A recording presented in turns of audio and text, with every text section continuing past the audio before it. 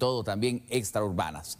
Dos motociclistas chocaron durante este fin de semana. Todo ocurre en un sector de la zona 5 de Misco. El fuerte impacto provocó que uno de los involucrados sufriera severos golpes que le costaron la vida.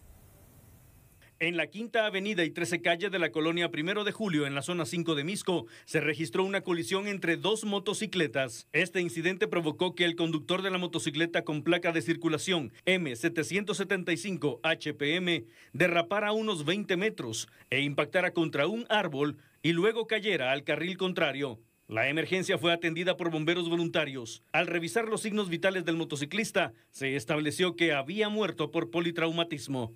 Fueron destacados indicando de que había una colisión de una motocicleta. Al llegar localizan a un hombre, el cual se conducía a bordo de la motocicleta con placas M531 GTM, la cual derrapó y cayó a la vía contraria, esto colisionando contra un árbol.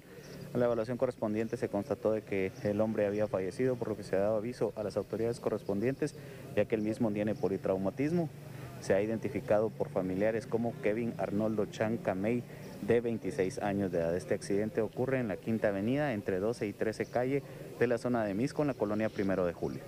El otro motociclista involucrado en la colisión, tras recibir atención médica, fue trasladado a los tribunales para resolver su situación jurídica.